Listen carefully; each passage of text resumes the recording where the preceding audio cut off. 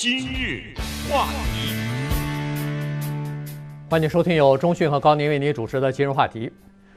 今天呢是这个一月四号哈，是我们呃新年的恨不得是第一个礼拜一哈，所以跟大家讲一下今年在加州呢实行的一些新的法律。因为去年的时候啊，呃遭受到疫情嘛，所以呃加州的参众两院呢。曾经有几个月的时间呢是关闭的哈，是没有呃进行审议整个的法案的。所以呢，今年就创造这么一个呃有趣的历史，就是这是去年是自从一九六七年以来，加州通过最少法律的一年啊，一共呢只有三百七十二项新的法律呃在去年呢通过了。所以今天呢，我把我们把这个和大家生活可能会有些关系的。一些法律呢，跟大家稍微的来讲一下。呃，因为法律比较多啊，所以我们尽量保持精简。那么这样的话呢，就可以涉及的面呢可以广一点。呃，同时也告诉纽约的听众，这些法律尽管是加利福尼亚州的，但是我觉得作为外州的听众听一听也挺有意思的。很多法律我觉得它是跨州的，就是这种法律能够在这儿执行，肯定其他州也有相应的法律。反正了解一下也挺有趣的。再告诉大家呢，平常要是没有疫情的话，正常的一年通过的法律基本上来说都是过千的，呃，只有上一次是一九六七年的时候三百来个，没没有超过一千。其他的平时的每每一年基本上都是八九百啊，一千多，有的有一年我记得一千两百多条法律。所以呢，可见就是这些法律是我们老百姓绝对平时你碰不到，就是绝对不知道的，也没有可能。大多数的法律你可能几辈子都不可能。相遇，所以也无所谓。可是加州因为是一个民主党的州，所以它有一个大的司法思想。它的大的司法思想就是政府怎么管理民众呢？它的考虑是比较照顾比较收入低的人，在劳资方面，它是比较照顾劳的这一方面。同时呢，对于一些普通人的权利这一方面呢，他考虑的比较多。所以我们就把一些跟我们生活有关系的跟大家来讲讲。首先就是说，关于医院，大家都知道，呃，医护呢现在这一条很简单，就是你的 PPE，就是这种保护措施，什么面罩啊、什么口罩这种啊，呃，包括防护服啊，必须得有三个月的储备。如果发现一次你没有三个月，罚两万两万五千块钱一次罚款。所以对医院要求更严格。所以这个呢也是让我们民众放心。同时跟疫情相关的就是雇主，这个就不是医院了。任何的雇主，如果你发现你的员工当中有一个人感染了新冠病毒，现在法律要求是必须文字通知你这家公司的所有的其他的员工。嗯，光拿口头讲打个电话还不行，要有一个文字贴出来书面的，要通知大家说我们这个有一个员工，而且是限在二十四小时之内。如果二十四小时之内你没有通知的话，面临罚款。这是第一。第二呢，就是对于感染的。这一位员工要有某一些津贴啊，这个要看具体的公司的具体情况，他没有写明，呃，具体的，呃，津贴的数字。然后这个法律根据疫苗啊什么这个发展再看，但是现在签的是要到二零二三年，一直到二零二三年都生效。过了二零二三年以后，可能就没了，那那时候再说。对，还有呢，就是在一些这个长期护理的机构当中啊。呃，如果要是有任何，这基本上就是老人院啊，什么这个呃，就是最后临终的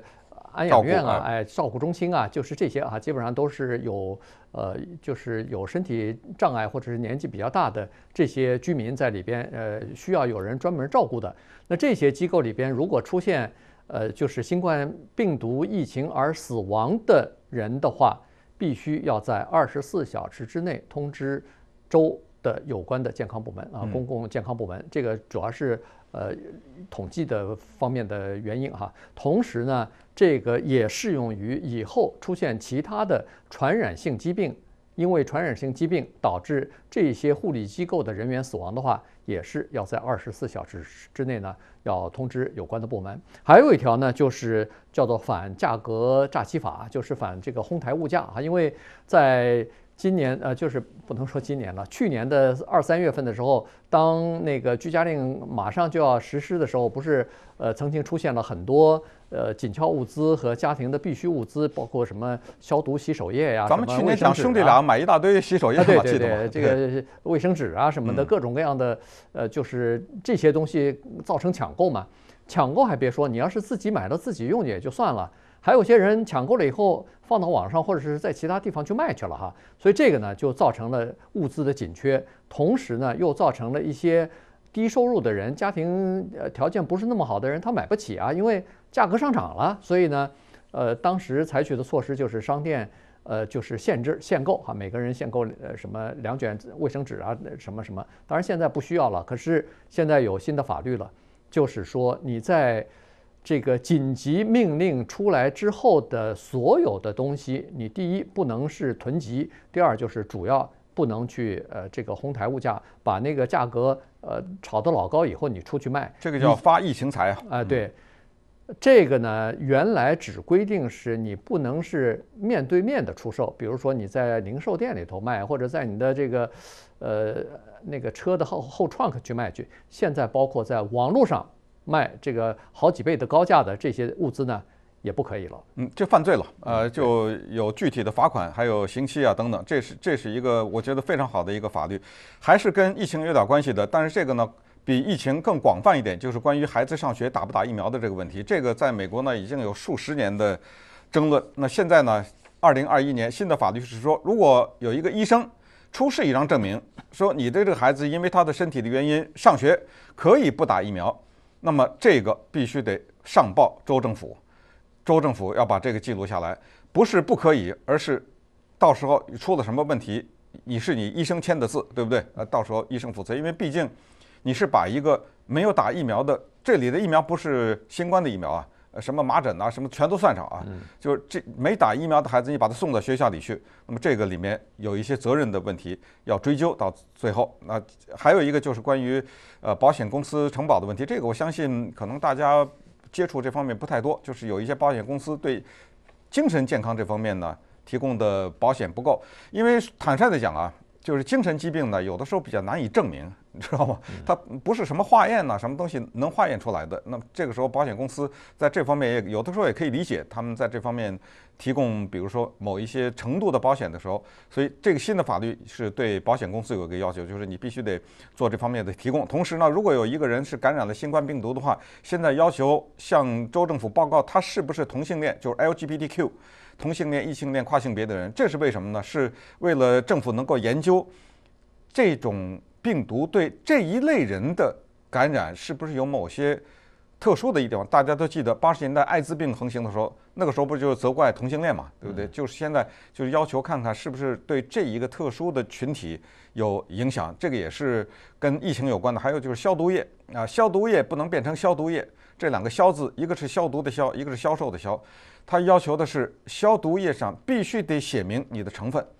啊，你不能说拿一瓶水，哎，这是消瓶消毒水啊，上面不写成分不行，因为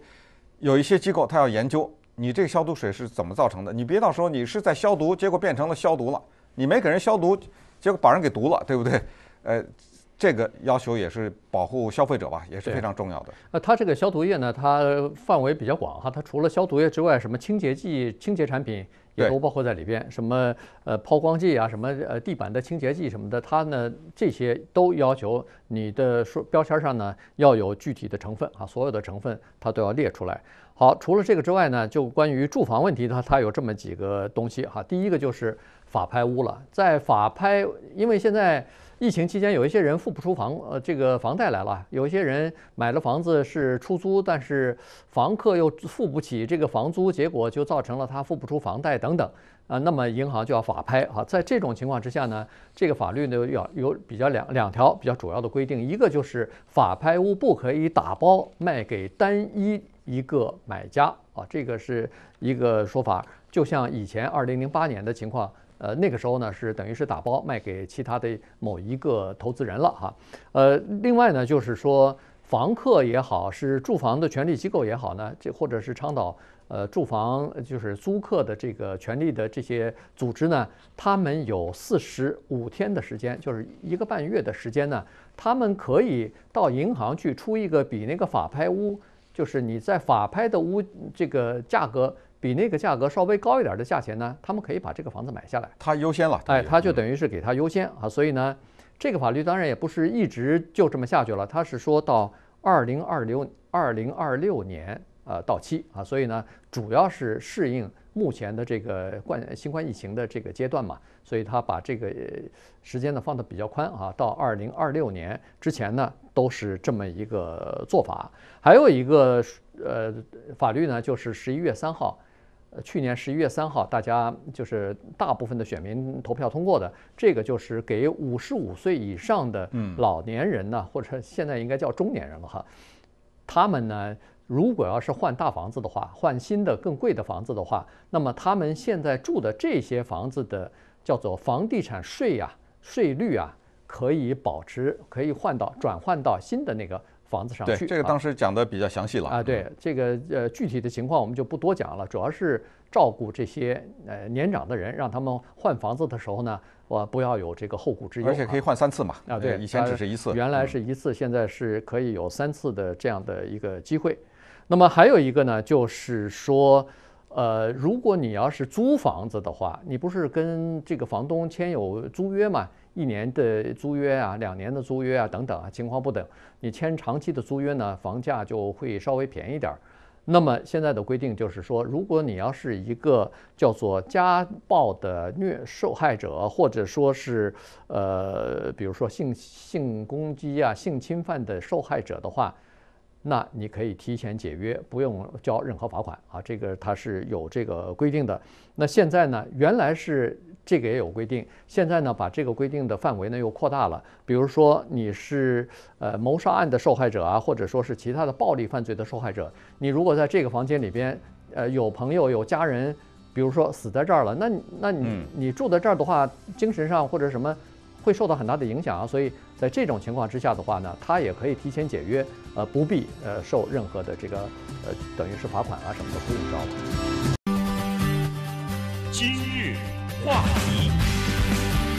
欢迎继续收听由中讯和高宁为你主持的今日话题。今天呢，很快的跟大家来介绍一下今年啊，呃，已经开始实施的，或者说即将要实施的一些新的法律，呃，有可能会对您的生活或者工作呢是有一些影响的哈，需要知道的。呃，刚才说的就是房屋的问题，房屋当然还有还有一个新的法律，就是说。在这个山火高发地区啊，火灾危险比较容易高发、容易发生的这些区域的房屋啊，它有一个明确的规定了，就是在房子的外边，呃，包括你的那个 deck，包括你的那个呃，就是这叫什么阳台甲板啊，因为有一些房屋啊，外边它有一些木头的那个呃那个等于是台阶、阳台一样的哈，那么它是要求在这个房屋外边呢。呃，这些房屋要至少有保持五英尺的叫做隔火防火带、防火区啊，在这个区域当中呢，不许有任何的木质的东西，包括树木啊、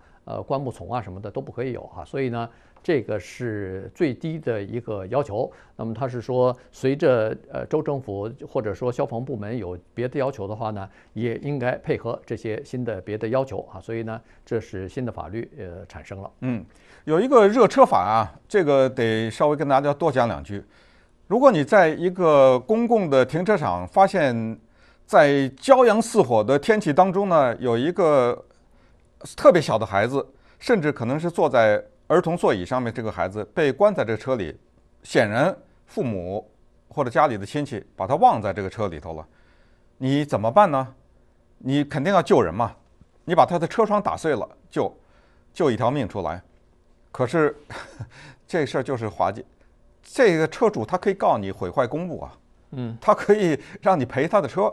你救了他孩子，可以让你赔他的车。这个为什么在二零二一年变成一个法律呢？如果几百年才发生一次这样的事情的话，没可能是一条法律，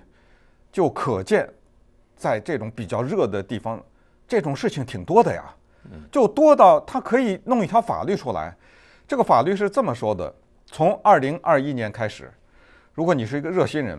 发现有人把孩子忘在车里。顺便说一下，宠物暂时还没列在这个里面，狗也可以被热死啊，对不对？如果这个时候你去救这个孩子，把车窗打碎了的话呢，你不需要赔偿。但是他这里有一个，其实作为普通人来说呢，是有点比较难以掌握的尺度，叫做六岁以下。对，他呢是可能是这么想，就是如果一个六岁以上的孩子，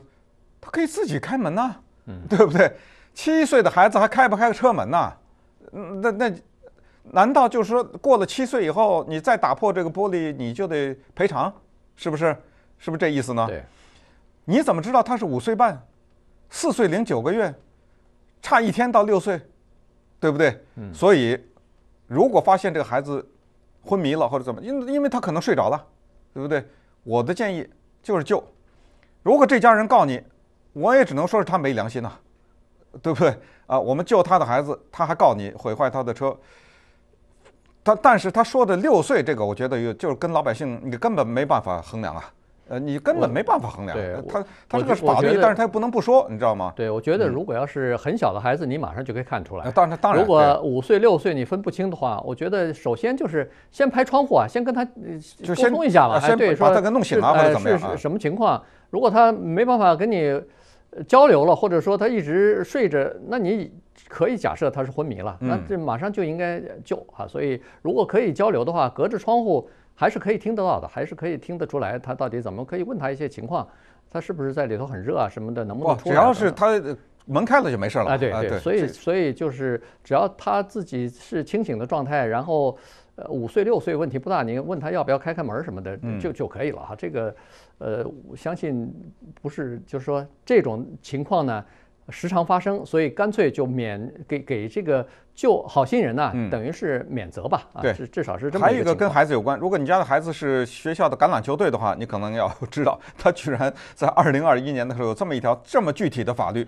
就是如果你是青年橄榄球队呢，因为这个东西对脑部的撞击，这个。已经说过很多次啊，尤其是职业的这个是有影响的，尤其是孩子在成长的时候，所以要求一个礼拜的练习不能超过两次，一次不能超过一小时，这就是法律了。嗯，这不是这么说一说一个什么学学校的规定啊，这一点呢也告诉家长们。还有就是我们知道美国人包括华人在内都喜欢养宠物，那么从二零二一年开始，加利福尼亚的宠物店不能卖猫、狗、兔子，不行了，你要不去领养。但是花钱买，对不起了，你只有一个地方，就是网上，因为我们知道美国有一些他们这些人呢叫职业的育种的人，叫 breeder，嗯，你可能只能从他那里买。顺便说一下，这种职业的人他育的这个不便宜，一般来说不便宜，但是都是纯种啊什么的，你得去那儿买了，就想到宠物店去买猫狗兔子没有了。基本上他就是鼓励人们去那个领养中心，去那个宠物的收容中收容中心去领那些被人抛弃的，或者是不要的，或者是流浪的这些猫狗了哈。所以他他是这个目的。还有一个事儿呢，倒值得注意，就是急救人员和执法人员啊，在赶到现场的时候，尤其是当有死亡事件出生的时呃发生的时候，他们赶到现场去的时候。除非你是因为调查这件事情必须要拍照，除此之外不可以拍照了。呃，这个事情呢，就是因为今年呃不是今又说今年了，去年的一月二十六号，这个 Kobe 啊 Kobe 呃他们的飞机坠毁之后呢，有一些执法人员赶到现场的时候呢，把这张照片拍下来了。拍下来以后呢。在网上等于是传发了哈，所以这个事情呢引起了呃科比家人的不满，然后最后还打官司了。最后这个警察就是把这个照片传出去，这个警察还被起诉啊什么的哈，被被告啊什么等等等。所以就是因为这件事情呢，现在就说，除非是一些调查事故的这些。官方的人士他必须要拍照，因为这个拍照以后可以对整个调查呃提供证据啊什么的。除此之外呢，任何人不可以拍照，还不是说你拍照我不发我拍总行吧？不行，现在就是说你连拍都属于轻罪，因为你拍了，有发的可能性就存在嘛，对不对？我何必冒这个险呢？呃，对，所以你又不是调查的人员，你拍他干嘛呢？呃，所以这个是也是。二零二一年的一个法律啊，这一个接下来讲讲公司啊，公司这个蛮有意思的，因为再说一遍，加州是民主党的州，也可以想象，州议会呢，很多人都是民主党的议员，所以在保护劳工方面呢，他们做的比较狠一点。首先，最低薪资从二零二一年开始十四了啊，当然这个是一个有多少人以上的公司二十六人吧，啊，就或者二十五啊以上，就是每一个小时的薪资，加利福尼亚州已经到了十四，然后少于二十五的可以是十三。同时，如果一个员工他家人生病啊，不是他自己，他自己也算。但是如果他是家人生病，然后他说我需要在家照顾我们的这个家人，这个病不一定是疫情感染啊，就是一切的病，生病、怀孕、生孩子啊对都可以。是等等啊。当然怀孕还有产假，那是生了以后啊，那那更不用说。是对，那是更不用说女的有产假，男的对可以男的也有照啊啊可以照顾，男的也有产假啊。这个呢说法是，如果照顾家里的病人，公司必须得至少呢给你十二个礼拜的合法的停薪留职，也就是说你可以十二个礼拜，那这个就是三个月啊三个月。啊不上班，但是你可以选择不拿薪水，但是老板不能把你给解雇了，因为你要照顾家人。当然，如果你自己是这个情况的话，也可以符合这个条件，就你可以休十二个礼拜，这叫停薪留职。对那当然，对一些大的公司就有更多的要求了，比如说是对呃总部在加州的上市公司来说，它对董事会的要求就有了哈。这个以前我们曾经也讲过，就是呃董事会里边原来是说至少要有一名女性，那现在呢要求的是从到今年年底，就是二零二一年的年底呢，这个五人以上的董事会呢，五人的董事会吧，至少要有两名女性。六人和六人以上董事会呢，至少要有三名女性啊，在这个呃，这个主要是减少性别之间的差距哈。这个呃，这个蛮狠的，我觉得，因为这个就百分之百的构成了配额呀，嗯对，没什么道理。就是你，你像这种上市公司，那多大的公司啊，对不对？对六个人的董事会必须得有三个女的，这是法律啊。对，我不管，反正你给我弄三个，对你知道吗？这个蛮狠的，这个特别民主党，这个对这个，尤其是就，就是六个人，那就是三个三个了，对啊，百分之五十啊。那当啊，然，六个人以上，他也最多也就是三个啊，他是这么要求。再过一年到明年的时候呢，他有另外的要求了。董事会里边，他除了要女性之外，还要多元性了。所谓的多元性，就是在里头至少要有一名是叫做代表性不足的少数族裔的董事要进到这个董事会里边去了。那他指的这个董事呢，包括呃黑人、呃西语裔人，就是拉丁裔的。啊，亚裔也算啊，然后印第安人对都算呃，哎，夏威夷的什么呃岛民啊，什么，反正这些东西，这些族族裔呢，它都算，它倒没有必须包括什么亚裔里头，因为太多了哈，这个好几个好好几十个国家呢，它倒没有说每个国家呃必须必须要配一个哈，它是 对至少只就是说这个这么说吧，有一个黑人就就顶顶了啊对对对，有一个亚裔就都顶了。另另外有一个直接跟我们有关系的，关于开车。写手机短讯的这个，因为现在还不光是手机短讯，很多人一边开车一边发微信啊，对不对？呃，你知道我说的是谁？大家都知道。对 就是说这个呢是这么一个情况，你被抓的时候，他这个很蛮狠的，三年之内，三十六个月嘛，就是三年嘛，对不对？三年之内，如果你被抓住两次，因为每一次都有记录嘛，嗯，那你那个加一点。过去最早我记得什么罚个十几块、二十几块什么之类的，对对对，后来办什么七八十块，现在都不是了，加点了。你知道一个人他那个驾驶记录就那么一点点呐、对，那个点是有数的，不是什么几该罚百点还罚啊，然后再加点，对十几点还是七八点，我忘了，反正一点是很大的比例啊，这所以会影响你的整个整个你的车保费全涨了了，，对不对？就是三年之内这么漫长的时间，如果你被抓住两次的话，你马上你保费就涨了，呃所以请注意，没必要发那个短信啊，或者回微信啊什么之类的，好好开车。这个啊，最后一个呢，我觉得应该是有接下来在二零二一年会有比较大的争议，就是关于赔偿奴隶制的黑人的问题。嗯，从二零二一年开始呢，加州成立了一个九人小组，这个是独立的，显然有民主党人、共和党人，这是嗯非党派的这样一个小组。这个事儿呃特别大，呃，等这个事儿发生的时候，我们会有多大量的话要讲关于这个话题，就是在美国奴隶制的时候，三百五十年的奴隶制里面，要不要赔偿这些人？这个特别有意思的就是加州还不是蓄奴啊什么，这个对不对？他还他还不是早期的那种美国南方的什么，但是加州因为是民主党率先提出。要对黑人进行赔偿，这个不是决定了，是要进行研究啊，然后接下来有一系列的什么投票啊，这其实就是三个：一是赔，二是不赔，三是